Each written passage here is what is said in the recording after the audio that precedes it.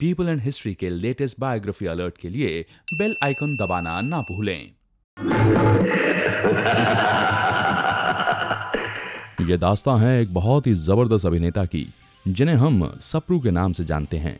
हमारी मसलहत के बगैर वज़ीर आज़म ने इन फरमानों को जारी करके बगावत की आवाज़ बुलंद की इस मुल्क के नवाब हम हैं।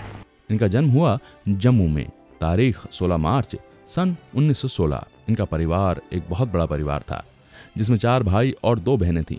सप्रू साहब अपने माँ बाप की चौथी संतान थीं।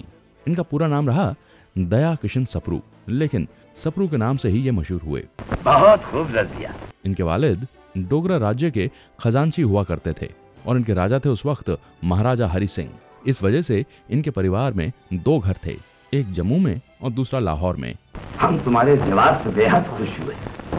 कल शहजादे की सालगिरह इस खूबसूरत जवाब का इनाम में सप्रू साहब की पढ़ाई लिखाई उर्दू और हिंदी माध्यम में हुई। अंग्रेज़ी जरा कम पढ़ाई जाती थी और इनकी इच्छा थी कि ये भी आगे जाकर अंग्रेज़ी पढ़ सकें और इस तरह से इन्होंने खुद ही अंग्रेज़ी भाषा का अध्ययन किया और उसकी पढ़ाई लिखाई की।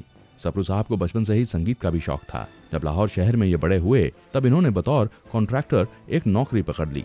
फिर ये जलंधर कैंट में तकरीबन दो से तीन बरस रहे। सप्रू साहब के कॉलेज के मित्रों ने कहा कि तुम निहायत ही खूबसूरत हो दमदार आवाज़ है क्यों नहीं तुम फ़िल्मों का हिस्सा बन जाते हो? पीछे की बात आप सोचिए मैं आगे की सोचता हूँ। और इसी ख्याल के साथ सप्रू साहब पुणे चले गए। इन्होंने अपने वालिद को बताया नहीं था कि ये फ़िल्मों का हिस्सा बनने वाले हैं। पुणे पहुंचकर इनकी मुलाकात हुई वी शांताराम शेख फतेह लाल और बाबू राव साहब से। ये लोग उस वक्त प्रभात स्टूडियो के मालिक हुआ करते थे। इन्हें प्रभात स्टूडियो की फ़िल्म में पेशवा का किरदार निभाने के लिए मिला। सभी ने कहा कि ये नौजवान तो निहायत ही खूबसूरत है और बहुत ही हुनरमंद है। कुछ वक्त के बाद ये बतौर हीरो भी फ़िल्मों में नज़र आए। फ़िल्म का नाम रहा लाखा रानी जिसमें इनकी अभिनेत्री थी मोनिका देसाई। इसका मतलब यह है कि वज़ीर आला की नज़र हमारे तख्त ताज पर है। लेकिन हम बगावत के इस पौधे को हरगिज नहीं पनपने देंगे। उस जमाने में इनकी पगार तकरीबन ढाई से तीन हज़ार रूपए महीना रही। ये वो वक्त भी था जब सप्रू साहब की दोस्ती हुई, देवानंद साहब से, गुरुदत्त साहब से और रहमान साहब से। ये बात भी गौर करने लायक है कि देवानंद साहब ने सप्रू साहब की बीवी के साथ बतौर हीरो काम किया था। फ़िल्म का नाम रहा मोहन। ये वो वक्त भी था जब उस जमाने में एक बड़े मशहूर अभिनेता हुआ करते थे, जिनका नाम था चंद्र मोहन चंद्र मोहन साहब की अकस्मात मृत्यु हो गई और उसके बाद ये बात सामने आई कि सप्रू साहब में वो तमाम खूबियाँ हैं जो चंद्र मोहन साहब में रही। दोनों ही कश्मीरी पंडित थे। सरकार कौन था वो? ये बात भी हैरान करती है कि के आसिफ साहब उस वक्त फ़िल्म मुगल आज़म का निर्माण कर रहे थे, जिसके लिए वो एक अभिनेता ढूंढ रहे थे जो शहजादे सलीम का किरदार निभा सकें। ये वो वक्त भी था जब नरगिस जी को चुना गया था अनारकली के किरदार के लिए, लेकिन ये फ़िल्म मुकम्मल ना हो सकी, क्योंकि उस फ़िल्म में पैसा लगाने वाले व्यक्ति की मृत्यु हो गई। चंद्रमोहन साहब अकबर का किरदार निभाते सप्रू साहब शहजादे सलीम का। और बहुत बरसों के बाद के आसिफ साहब ने फ़िल्म बनाई मुगल आज़म जिसमें पृथ्वीराज कपूर मुगल आज़म बने दिलीप कुमार शहजादे सलीम और मधुबाला कनीज अनारकली फरमान आज ही जारी होगा। और अभी? धीरे धीरे फ़िल्मों में सप्रू साहब का इतना नाम हो गया कि इन्होंने अपना घर मुंबई शहर में ही बसा लिया। उस जमाने के मशहूर विलन जीवन इनके गहरे दोस्त रहे। सप्रू साहब ने धीरे धीरे पैसा फ़िल्मों के निर्माण में लगा दिया। एक फ़िल्म बनी पतित पावन। उसने बॉक्स ऑफ़िस पर ठीक ठाक काम किया था। फिर एक फ़िल्म आई बहादुर शाह ज़फ़र जिसका निर्माण सप्रू साहब ने ही किया था। बहादुर शाह ज़फ़र का किरदार भी इन्होंने ही निभाया। मेरी शक्ति को कोई छू नहीं सकता।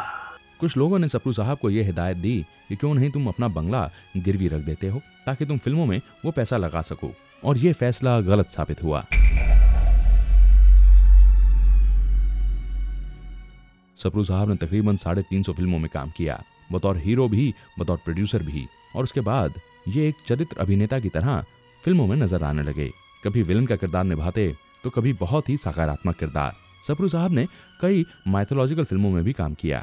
पति के प्राण के सिवाय कोई तीसरा वरदान लेकर लौट जाओ। मेरा कोई भाई नहीं है। मेरे माता पिता के सौ ऐसे प्रतापी पुत्र हों जो उनका वंश चलाए। तथास्तु। सप्रू साहब नहायत ही खूबसूरत थे। बहुत से रिश्ते इनके लिए आ रहे थे, लेकिन सन 1948 में इन्होंने हेमवती जी से शादी कर ली, जो खुद एक बड़ी ज़बरदस्त अभिनेत्री रहीं।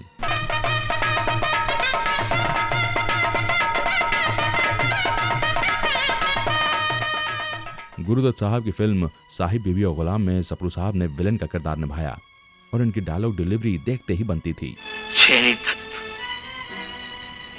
ये हिम्मत फ़िल्म पाकिजा में अशोक कुमार साहब ने जो किरदार निभाया दरअसल वो सपरू साहब निभाने वाले थे। लेकिन बात कुछ इस तरह से बनी कि इन्होंने फ़िल्म पाकिजा में भी विलन का ही किरदार निभाया। तो जाओ। असदुल्ला की इस नमक हराम आरज़ू को उसके सीने में ही दफन कर दो ताकि वो फिर सर न उठा सके। सप्रू साहब अपनी आवाज़ का दमखम बरकरार रखने के लिए अक्सर सुबह पाँच बजे उठ जाते और गाने का रियाज करके अपनी आवाज़ को मज़बूत बनाए रखते। ये बात भी बड़ी आश्चर्य की है कि आगे जाकर सप्रू साहब एक होम्योपैथिक डॉक्टर बन गए। इनके बच्चे भी आगे जाकर बतौर अभिनेता और अभिनेत्री नज़र आए। प्रीति सप्रू और तेज सप्रू का नाम तो सभी की ज़ुबान पर है।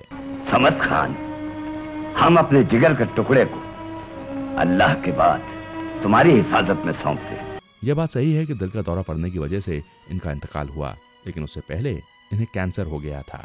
डॉक्टर्स ने कहा था कि कैंसर ठीक हो गया है पर कैंसर की बीमारी का तनाव इनकी जान ले बैठा।